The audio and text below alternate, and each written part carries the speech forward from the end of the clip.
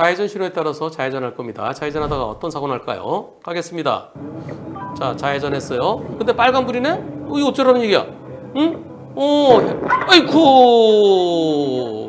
뒤에서 오던 차가 들이받았어요. 제가 정지선에서부터 사고지점까지 얼마나 됩니까? 한 25m 됩니다.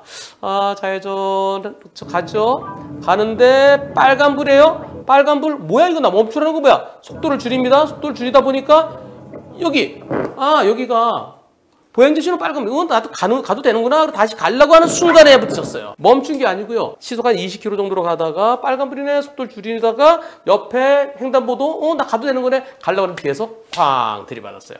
후방 영상을 보고 싶습니다 그랬더니 뒤 차가 너무 세게 들이받아갖고 후방 카메라가 망, 망가져서 후방 영상은 없다고 그러십니다. 뒤차 영상 받으셨나요? 아 뒤차 영상 아직 못 받았습니다.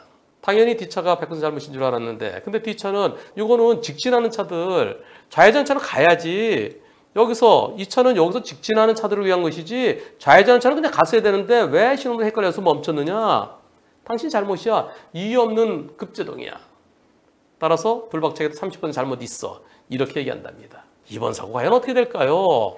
안전거리 미확보, 뒷차의 100% 잘못이다. 신호등이 헷갈린 불박차에도 일부 잘못이 있다. 오히려 불박차가 더 잘못했다. 투표해보겠습니다. 여러분들의 의견이 다양한데요.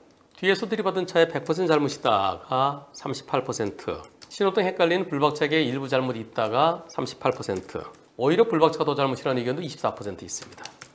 저는 뒤차 100%냐 아니면 불박차에게도 한 10 내지 많으면 20% 있느냐 그걸 고민 중입니다.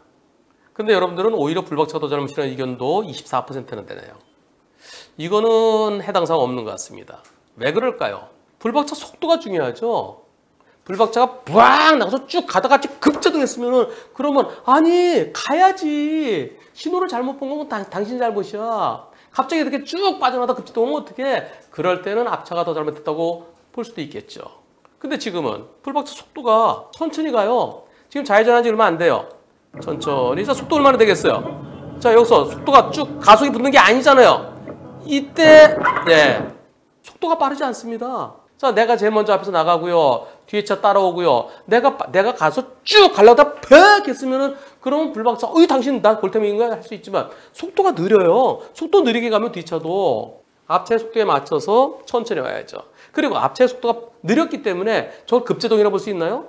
가다가 어 빨간불이네 이상하네 살짝 속도를 줄이는 거예요. 브레이크 살짝 잡고 음 보행자 신호도 빨간불이네 그럼 나도 가지 가야 되지. 그 다시 가려고 그러는데 그때 빵 이거는 안전거리 미확보 뒤차에 100% 잘못이냐 불박차게 한 10% 아주 많으면 20% 있느냐 둘 중에 하나입니다. 그것은 뒤차 영상도 봐야 판단할 수 있겠습니다. 도로교통법 19조인데요. 모든 차의 운전자는 앞에 가는 차를 따라갈 때 앞차가 멈추면 나도 멈출 수 있는 충분한 안전한 거리를 유지해야 된다. 앞차가 갑자기 정지하게 되는 경우 그 앞차의 충돌을 피할 수 있는 필요한 거리를 확보해야 된다. 이게 안전거리 확보 의무입니다.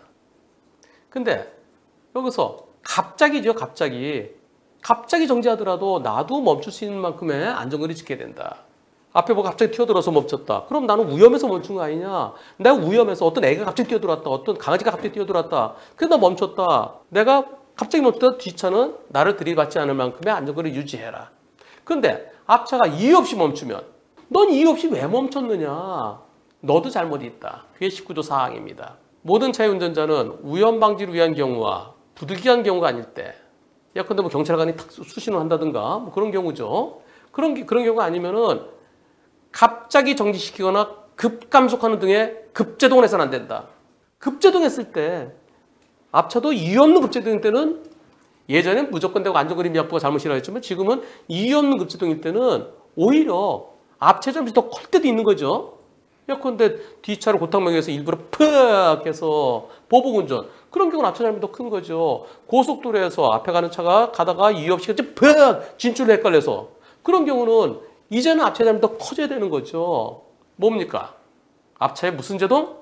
급제동입니다. 급제동. 근데 아까가 아까 좌회전에서 나간 차는 속도가 빠르지 않았어요. 속도가 이제 좌회전 천천히 해서 한 시속 한 20 정도에서 급제동이 아니라 서서히 속도를 줄이는 중이었어요. 그래서 뒷차에 100% 가능성 충분히 있다는 겁니다. 급제동일 때가 앞차에도 잘못 있는 거지. 앞차 천천히 가면 뒤차는 그 차에 따라서 어, 저 천천히 가래 내가 옆으로 피해 가든가 아니면 나도 같이 속도를 줄이면서 앞차에 안정거리 지켜야 돼. 물론 신호등을 헷갈린 거 그것은 이유 없는 거예요. 네, 신호등 왜 헷갈렸어? 그런데 뒤에 뭐가 붙나요? 이유 없는 급제동일 때 앞차가 속도 살 줄였다 다시 갈라는데 뻑 급제동이 아니기 때문에 100대 0 가능성 충분히 있는 겁니다. 물론 보는 관점에 따라 판사에 따라서 신호등 헷갈린 거, 아, 거기서 멈추면 안 되죠. 앞차에도 한 10% 있습니다. 아주 많이 못해 20% 있습니다. 할 수도 있겠지만 뒤차가 앞차 천천히 가는데 왜 천천히 왔어야죠? 앞차가 이제 쭉 가겠지? 아니죠. 앞차를 보면서 안전거리 지키면서 앞차를 앞차 속도에 맞춰서 왔었어야죠.